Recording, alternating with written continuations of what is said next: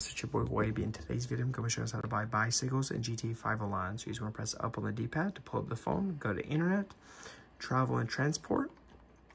You guys can go to P and M Cycles right here, and you guys can buy different um, bicycles that you guys can ride around with. Um, so yeah, I hope you guys enjoy this tutorial, and I'm out. Peace.